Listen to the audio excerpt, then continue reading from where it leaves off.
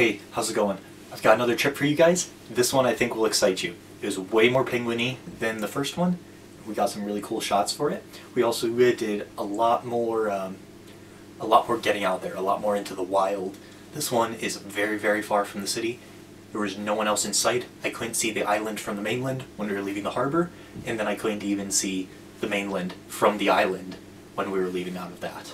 So some pretty cool stuff. Loads of penguins. Some plankton snuck its way in there. Got some pretty cool stuff for you guys. Alright, so first off, if you guys remember what the maps were like in the other videos, we have Auckland there in the south, and moving north from there, we have Tawharanui, where we had the first study site. We're leaving from Omaha, which is just right by Tawharanui, and heading way up to Mokohinau, which is a chain of islands way out there. It's several hours from Omaha.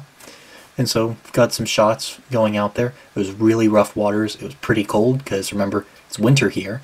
Uh, being in the southern hemisphere, our seasons are reversed from in the northern hemisphere.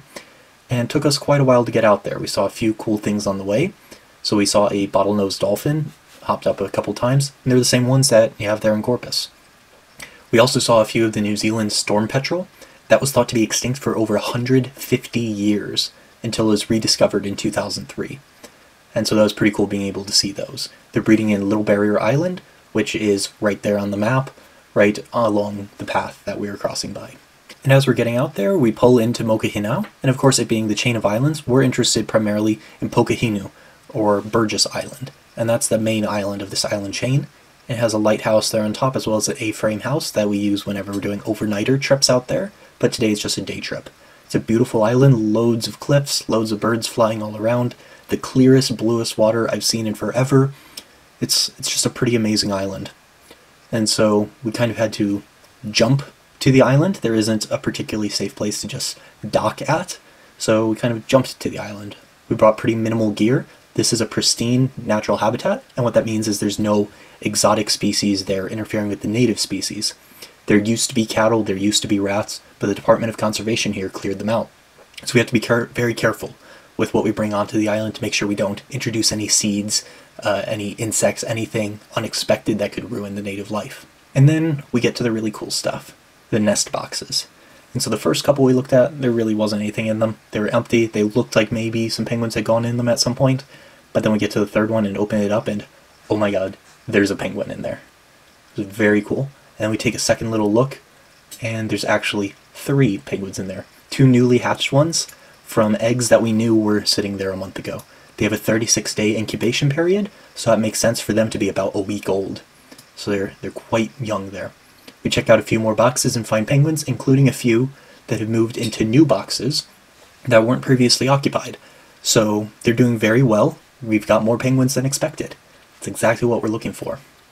So we do a little work there, check all the boxes, take a few feather samples that have fallen off the penguins, and then we set up camera traps and those will work just like any other camera trap, like you would use for hunting or for African safaris or anything. You set it up in front of the nest box, and anytime it detects motion, it takes a picture. We got one particularly cool one that's right in front of the entrance to the burrow, and this is a natural burrow instead of one of the nest boxes.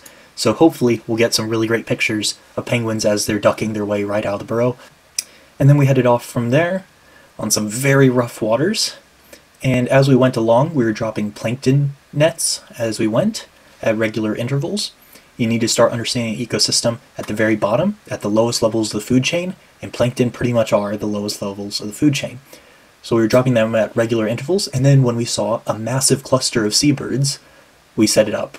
Particularly whenever you're seeing all this density of wildlife, this density of biodiversity, you know there's something special going on. So we wanted to see which plankton these fish and these birds were most attracted to. So we dropped the nets in, dragged them for a couple minutes, and then sifted through them and sent them off to the lab to get analyzed. And that was the trip out to Mokohinau.